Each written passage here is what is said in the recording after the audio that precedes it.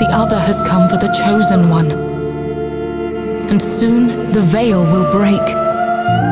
The suffering cannot continue. I can give you my daughters, birthed from my soul. You will need them to fight.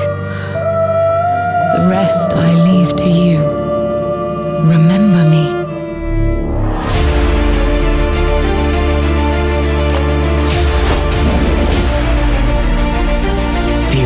Used to be.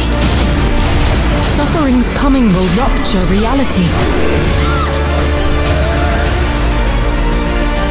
They keep coming for us.